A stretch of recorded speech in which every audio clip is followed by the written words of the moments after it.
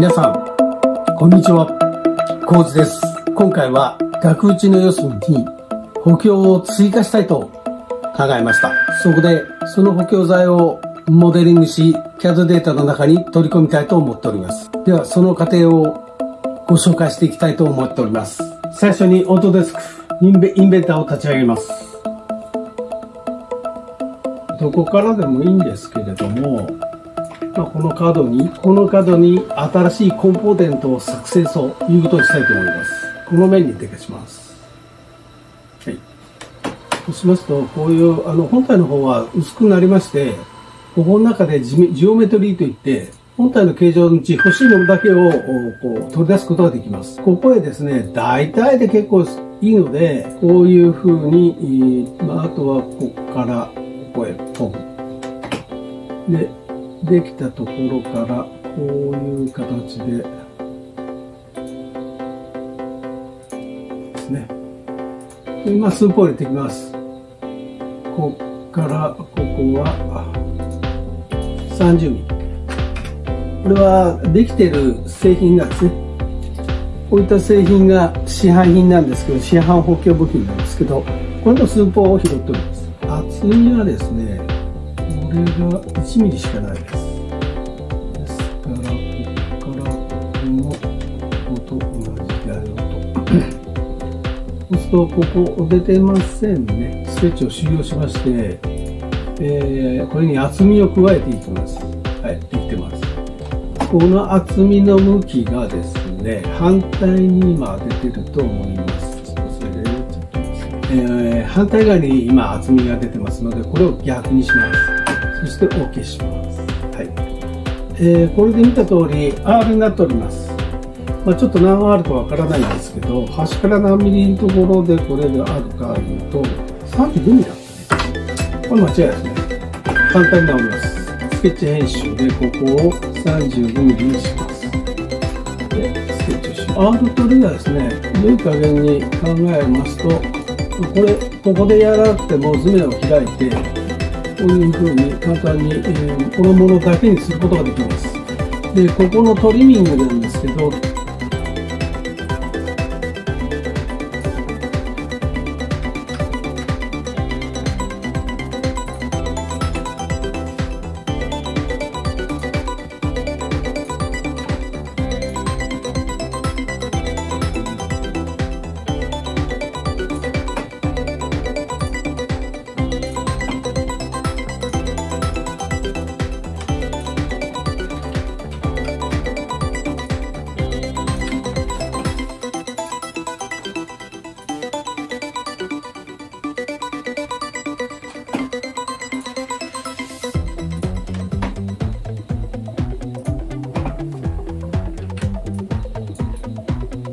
はい、モデリングができました。色をつけていきましょうね。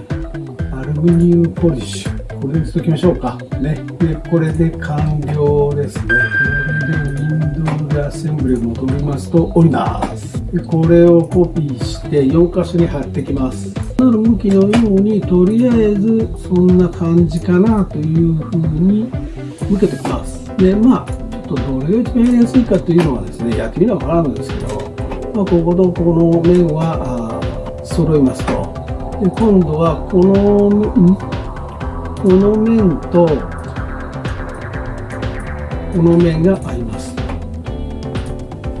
そうしますと今度コンポーネントの方でこれをこうチュッと飛ばしていてそうするとこれでこの面とこの面は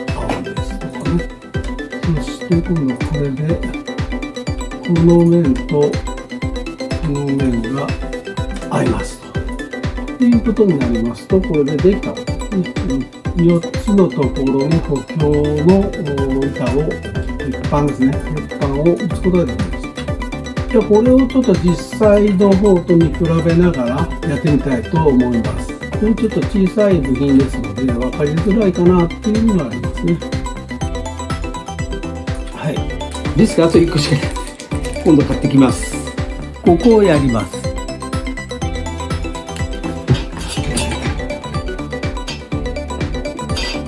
右辺真ん中を狙いましていきますよ。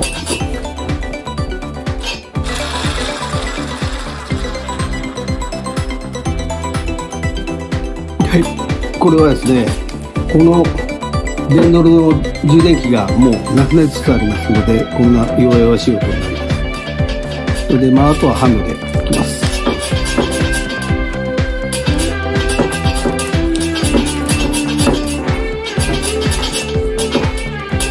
はい、はめ切りました。はい、よっしゃ。まあ、こういうふうにですね、まあ、この国家これ設計いるかというと、いらないんですけどね、別に。ただ次の額縁を作ったりする時のですね、まあ、記憶になりますし、どうやったのか、あそういったところがですね、記録に残せます。もちろん図面にも残ります。えー、それが大事なんですね。これで60号だとか、また80号とか、まあ、100号書くのは、あ、るかなという自分なりの岩越しではありますけれども、まあ、そういった先のことを考えていくと、こういうこともきちっと残していった方が今後のためにはなるんじゃないかなというところでございます。